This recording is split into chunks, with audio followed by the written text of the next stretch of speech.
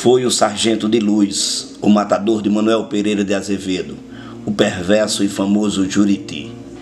Manuel Pereira de Azevedo era um baiano lá das bandas do Salgado do Melão.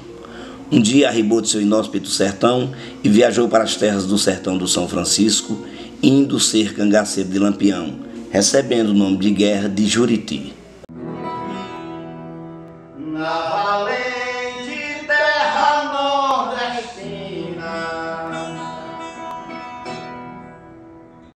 Este cangaceiro possuía uma aparência física impressionante.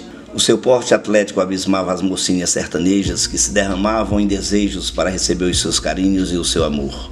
Contrapondo a toda essa atração que despertava nas jovens, Juriti carregava em seu sentimento e em sua alma um extremado pendor para brutais violências, cangaceiro de atitudes monstruosas, Sentia especial prazer em torturar e assassinar com requintes animalescos as infelizes vítimas que caíam em suas mãos, como aconteceu com José Machado Feitosa, o rapaz de Poço Redondo que ele, após torturá-lo medonhamente, o assassinou com uma punhalada no pescoço.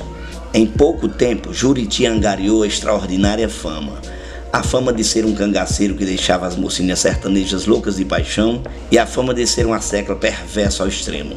Uma menina moça chamada Maria, filha de Manuel Jerônimo e Áurea, irmã de Delfina da Pedra d'Água, deixou-o alucinado. Aquela ardente paixão foi recíproca e o jamais imaginado pelos seus pais aconteceu. A menina de Mané e Aura deixou seu lar, seus pais e se jogou no mundo os seus sonhos e a sua ilusão era passar a viver nos braços do tão falado e comentado Cabra de Lampião. Na grota do Angico vamos encontrar Juriti e Maria vivendo aquele instante de suprema agonia. Lampião, Maria Bonita e seus companheiros foram abraçados pela morte. Sem o grande chefe, o viver cangaceiro não era possível. Os bandos espalhados pela Caatinga foram se desfazendo. Alguns fugiram e outros se entregaram às autoridades de Alagoas e Bahia. Juriti seguiu o mesmo caminho de muitos. Após enviar a sua Maria para a proteção do pai e a ajuda do amigo Rosalvo Marinho, que a levaram para Jeremoabo, onde ela foi recebida e bem tratada pelo capitão Aníbal Ferreira, que deixando o papai surpreso e feliz, liberou a sua filha para que com ele retornasse para sua casa e para o aconchego de sua família. Ainda mais, solicitou a ajuda de Maria, do pai de Rosalvo Marinho, para que ambos fizessem com que Juriti e seus companheiros também viessem se entregar. Juriti e Borboleta são convencidos pelo amigo da Pedra d'Água e também seguem para Jeremoabo, onde se entregam ao capitão Aníbal.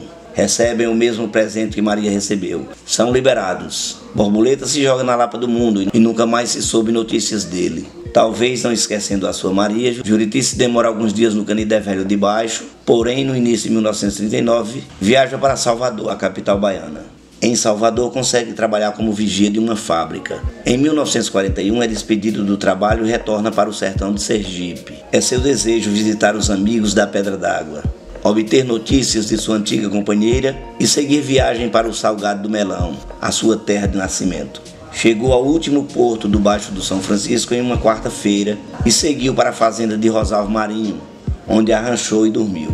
O sargento de luz foi avisado da inesperada presença de Juriti na casa de seu cunhado Rosalvo Marinho. O sentimento impiedoso do militar não perdoava esse cangaceiro. Juriti teria que pagar todos os crimes praticados durante sua vida no cangaço e ele seria o juiz que iria condená-lo à morte. Assim foi feito. A quinta-feira amanheceu e ainda muito cedo o café foi servido. Juriti conversava animado com seu amigo Rosalvo. De luz e seus rapazes haviam cercado a casa. Surpreso, Juriti se vê na mira das armas dos atacantes e imediatamente preso. Sorrindo, de luz diz: Mas que surpresa! Nunca pensei que Juriti fosse um pastão manso, tão fácil de ser agarrado. Esteja preso, cabra. Eu não quero cangaceiro perto de mim, não. Juriti se recompõe da surpresa e desafia de luz, dizendo: De luz, você é um covarde. Eu sei quem você é um covarde.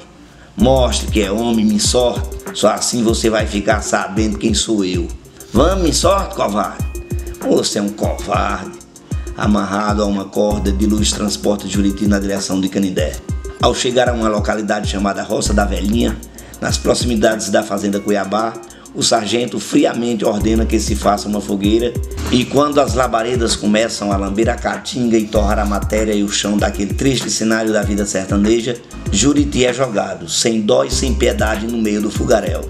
Em poucos minutos, o corpo do antigo cangaceiro havia se transformado em um monte de cinzas, ficando por várias décadas como testemunha daquele medonho momento os botões da braguilha da calça de Juriti, além do negrume deixado pelo fogo no local do monstruoso assassinato do antigo Manuel Pereira de Azevedo do Salgado do Melão.